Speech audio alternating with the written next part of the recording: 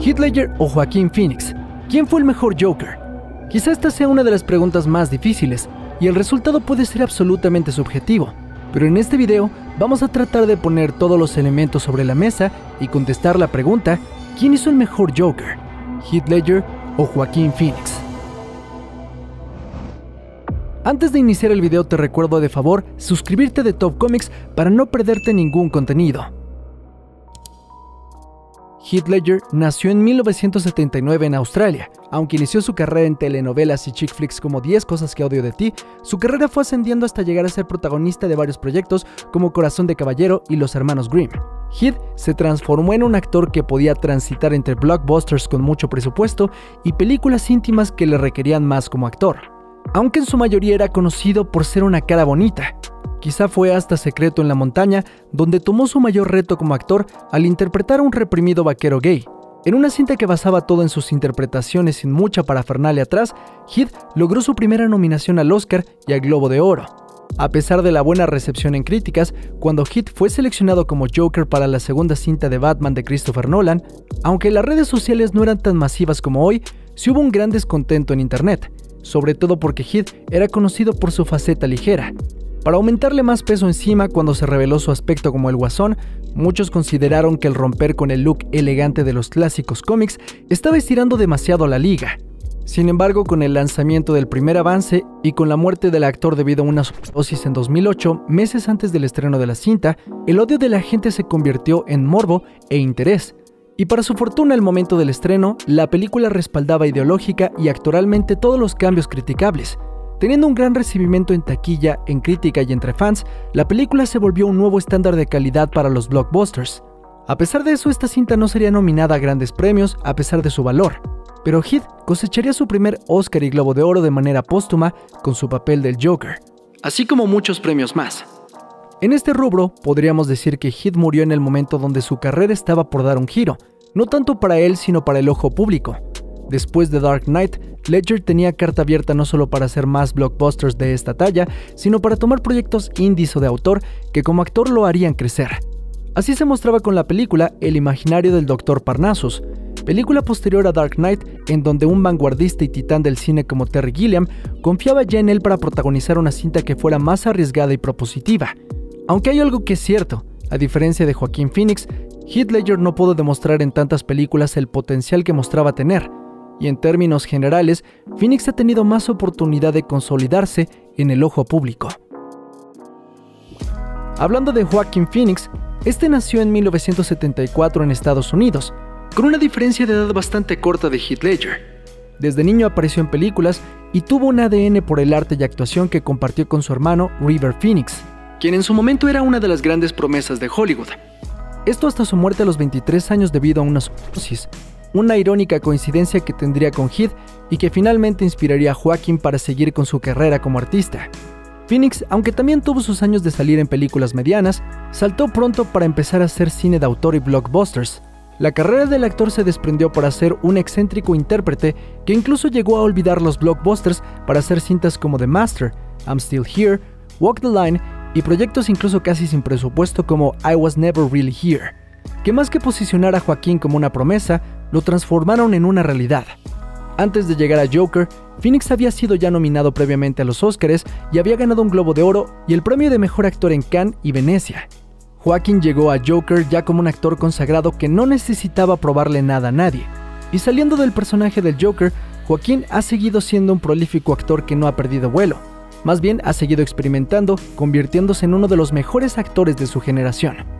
En ese sentido y en términos generales, Joaquin Phoenix ha llegado a ser mejor actor que Heath Ledger, pero obviamente porque Heath no tuvo la oportunidad de continuar, ya que seguramente si lo hubiera hecho, sus carreras hubieran llegado a parecerse mucho. Pero aunque Joaquín llegó a ser un actor más completo, eso no resume esta batalla. Así que analicemos a cada uno a través del personaje del Joker, primero a través de su ideología. En los años 80 los cómics cambiaron, sobre todo para Batman después del lanzamiento de Year One y Killing Joke. En el primero, Nolan se inspiró para crear una versión más tangible del Caballero de la Noche y un universo más aterrizado a nuestra realidad. En Killing Joke, Nolan encontró la fórmula del por qué el Joker es el mejor antagonista de Batman, y lo plasma de manera correcta en la cinta de Dark Knight. Si Batman es un ente de la justicia, el orden y el seguimiento de las reglas a rajatabla, Joker es un ente del caos. Todo resumido en la excelente frase, una fuerza imparable se encuentra con un objeto inamovible. Después de la primera película, Batman Begins, nuestro justiciero después de golpear a la oscuridad de Gotham en la cara, termina haciendo que ésta sea transformada y personificada a través de un hombre que es la respuesta a su ataque al crimen. Aunque su perfecto opuesto, también es equivalente a Bruce, porque tiene la misma inteligencia y probablemente comparten también la locura, pues ambos usan trajes estrafalarios que simbolizan un desequilibrio mental. Son hombres con disfraces saltando por los techos de la ciudad. Hablando de los planes del Joker, este provoca que Gotham tenga que ser evacuada, en dos botes, el Joker coloca a dos grupos de personas, en uno un grupo de civiles y en otro a un grupo de criminales, todos inmiscuidos en la disyuntiva que uno tiene que destruir al otro para salvarse. Esto hace que el Joker funcione como un idealista más que como un villano físico, en el sentido de que no va simplemente a volar un edificio porque sí, sino porque sus planes tienen la meta de demostrarle a Batman que está equivocado en cómo piensa. Aunque al inicio la ciudad prueba no estar tan loca aún, Joker llega al extremo de secuestrar a Rachel y a Harvey Dent. Esto para probar su punto a toda costa. ¿A quién salvas? ¿Al hombre que va a salvar a Gotham a través de la política o al amor de tu vida? ¿Es Batman el hombre más justo de Gotham egoísta? Lo correcto sería salvar a Harvey Dent, pero Batman quiere salvar a su enamorada. Pero con un engaño y giro del villano, Bruce termina salvando a Dent y condenando a su enamorada, condenándose a sí mismo y a Harvey Dent por haber sido egoísta causando a largo plazo la destrucción de Harvey Dent, su deserción del manto de Batman y la destrucción de Gotham al haber abandonado su ciudad. En este caso, el Joker de Heath Ledger es un anarquista, un nihilista destructivo que busca el caos. Él no busca el oro para ser rico, lo busca para crear descontrol, demostrando que los valores de la sociedad son banales. Siendo excepcionalmente fiel a su ideal, eso lo convierte en un villano tremendamente peligroso por estar dispuesto a volar él mismo en pedazos si eso también se va a llevar a sus rivales y va a dejar un mensaje. Tras Dark Knight, los años pasaron y parecía que habíamos visto la interpretación definitiva de Batman y Joker. Por eso cuando se anunció una cinta del Guasón en solitario, parecía no tener sentido, porque la dualidad es lo que había hecho la perfección entre ambos personajes. No solo en Dark Knight, sino en los cómics, es casi imposible ver una historia del Joker sin Batman. Sin embargo, en la cinta de Joker, el director Todd Phillips cambió las reglas del juego volviendo al Joker un héroe y a la ciudad y las circunstancias las antagonistas. En este caso, el Joker de Joaquin Phoenix es un hombre bueno que quiere hacer cosas positivas, pero cuya locura infligida por la ciudad termina volviéndolo un paria. La sociedad lo arrastra por el piso hasta que las circunstancias lo tiran a la locura total. En ese caso, este Joker no es un ente del caos, sino el caos mismo. Es la locura de la sociedad torcida en todos sus niveles que ha creado a su propio Mesías que está listo para incendiar las calles. En ese caso Batman termina siendo una consecuencia del Joker y no al revés, naciendo del caos. Si la ideología del Joker de Ledger daba esbozos de nihilismo, siendo caótico en su aspecto y en la debacle que provocaba, al final ese personaje tenía un plan para que todas las piezas cayeran donde debían caer. En el caso del guasón de Joaquin Phoenix, este es un hombre que no practica el nihilismo, es el nihilismo en una persona. Como ejemplo tenemos el tercer acto, cuando llega con la intención de matarse a sí mismo en público y termina matando al presentador, desbocando una revolución. La intención de este Joker no es provocarla, sin embargo, el caos mismo lo arrastran a él y a los demás a la destrucción, pero desenfocada. No es que las piezas de ajedrez deben de caer de pie, este ente destruye el tablero completo con su propia existencia que carece de propósito. La ciudad le da la corona al rey loco ante la necesidad imperiosa que gritan todos al haber sido subyugados por un orden corrupto. Sus actos son más a la par del nihilismo puro, ya que esta corriente filosófica dicta que los valores de la sociedad son una ilusión, una construcción forzada que carece de sentido para la sociedad misma. Friedrich Nietzsche describía el nihilismo como la muerte de Dios. Lo trascendente, lo moral, no existen, solo lo tangible. Nietzsche consideraba que los hombres habían vivido como una masa controlada y que era hora de liberarse. Joker es ese detonante, el ente que regresa para vengarse de todos, sin importar si son culpables o no. Es una fuerza castigadora hasta el último aliento. La podrida ciudad de Gotham cobra forma a través del Joker. No hay héroe que la salve, porque la corrupción es total, y por tanto corrompe totalmente al personaje. Hablando ahora de la interpretación de Ledger, a diferencia de lo que muchos creen, Heath no vivía atormentado por interpretar al guasón. No se mantenía todo el día en personaje a diferencia de otros. Él entraba en personaje hasta que le decían acción y lo dejaba cuando decían corte. Es cierto que se encerró y escribió un diario y profundizó en el personaje para poder darle una voz y una cadencia que son tan únicos en esta interpretación que han sido replicados hasta el hartazgo. Pero creo que Heath era un verdadero profesional, que no era un actor que hacía lo que hacía para tener reflectores sobre él, sino para aportar lo que más pudiera al personaje. Nolan le dio la ideología, pero Heath le aportó la personalidad. Él propuso el maquillaje, los movimientos, las relamidas del labio, el tono de voz chillón circense pero siniestro. Nolan le dio las bases, pero Heath construyó al monstruo al que se le ven las costuras, pero que aún así no podemos descifrar de manera sencilla. No tiene un origen, no tiene pasado.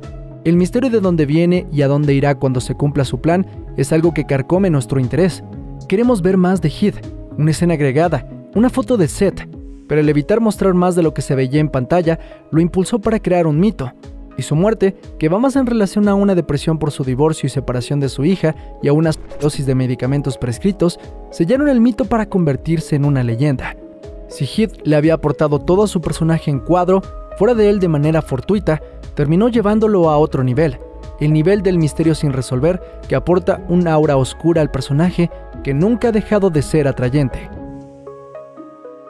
Al igual que Ledger, Phoenix cuenta haberse pasado las filmaciones del Joker riéndose y pasándose la increíble. El oscuro mundo y personaje que interpretaba igualmente no impactaba en su vida real. Su profesionalismo, al igual que Heath, dejaban claro que daban todo en el momento correcto y no más. No alardeen de su talento, simplemente son artistas. Pero hablando de su personaje, a diferencia del Joker de Heath Ledger, Joaquin Phoenix y Todd Phillips construyeron al personaje no a través del mito, sino a través de lo humano, y a través de eso terminó mitificando al personaje. La primera toma de la película nos sostiene a Arthur Fleck en una sonrisa forzada y una lágrima, que con una cámara boyerista nos lleva al alma del personaje.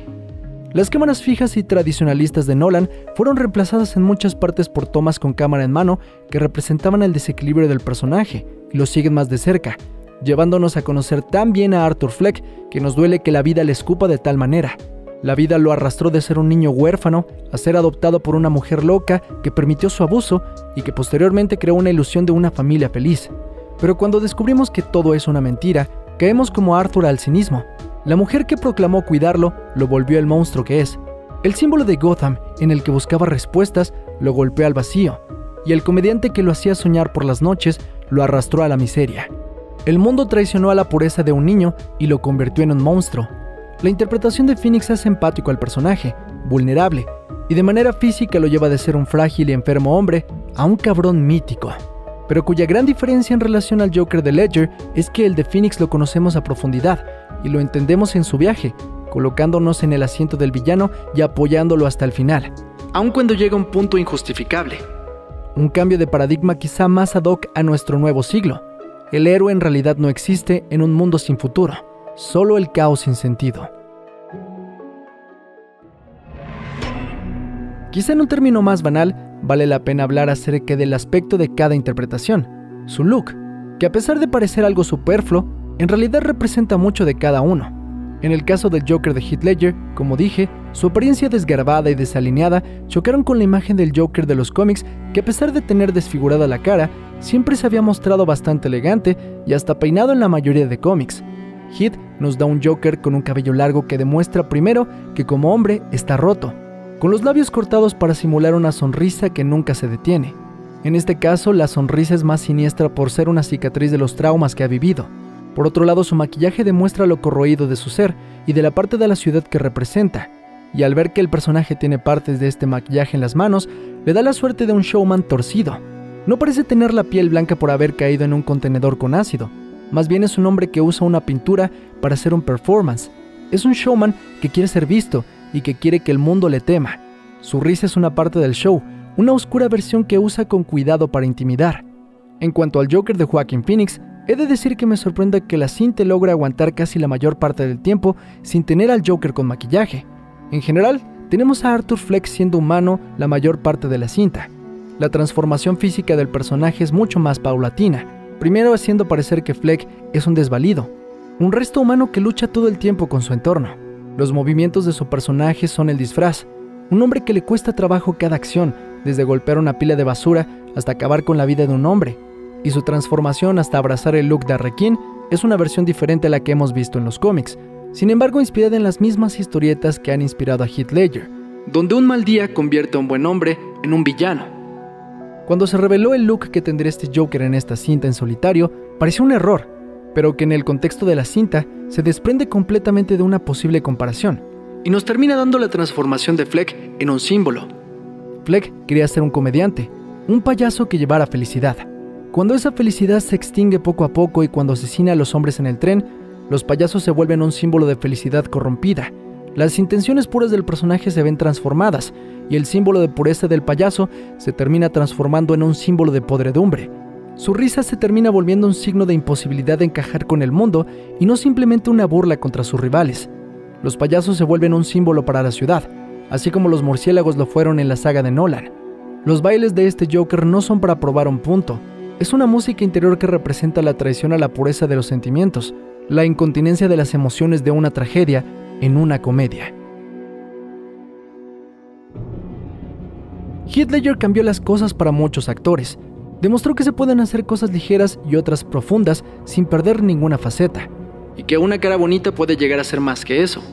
Heath tuvo una dualidad en su talento que hizo que las cintas de superhéroes fueran vistas como cine, no como un subgénero que le gusta solo a los niños. Los blockbusters adquirieron otra profundidad y como actor logró una versión del Joker perfecta.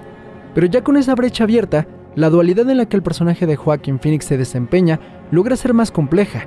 Su Joker es humano, su ideología del caos es verdaderamente más estremecedora porque es más cercana a nuestra realidad. La sociedad en la que vivimos es tan parecida a la de Gotham que es incluso una advertencia. He de decir que ambos tienen ideologías similares, estando basados en el nihilismo, pero la de Joaquin termina siendo más relacionable, además de que no necesitó de grandes efectos especiales ni de Batman para ser una película grandiosa. Una cinta que si le quitas el nombre de Joker, podría ser una cinta de autor como una de esas que han hecho a Phoenix uno de los mejores actores. Tanto que cuando Joker fue expuesta en Cannes, en Venecia y otros festivales, aparte de una buena crítica, cosechó una dosis increíble de premios, incluido el Oscar a Mejor Actor, y que además fue una cinta aplaudida como han sido aplaudidas otras grandes cintas de la historia, no solo como una película de superhéroes, y no nos equivoquemos, sin Ledger y Nolan no hay Phoenix ni Phillips. Sin ese primer y tan importante paso de The Dark Knight, creo que ni siquiera las películas de Avengers existirían a la escala que las conocemos. Pero si vamos a hablar del resultado final, Joker es una cinta extremadamente más compleja y siniestra que The Dark Knight. El Caballero de la Noche sigue siendo un blockbuster que debe de cumplir con los giros que Hollywood imponía, y Joker en cambio es una exploración artística a un personaje establecido. Es visceral y más arriesgado en toda su construcción, una construcción que parece incluso amoral ante los estándares de una industria como Hollywood que siempre busca la unión y los valores positivos. Joker es un golpe en el estómago de la realidad. La jodida realidad. Al final del día no importa si yo creo que Joaquin Phoenix logró una versión más compleja del Joker. Cada quien puede tener a su favorito y puede disfrutar de ambas versiones. Lo que es cierto es que en un corto periodo de vida hemos sido testigos de las mejores adaptaciones de cómics en la historia. Y sea una mejor que otra, ambas son joyas que no dejaremos de amar con el tiempo. El simplemente ver los trailers de estas películas te hacen vibrar, y el propósito más que dar un ganador indiscutible es reexplorar estas cintas que nos han dado tanto. Te agradezco por ver este video. Te habló Mr. X, nos vemos en la próxima.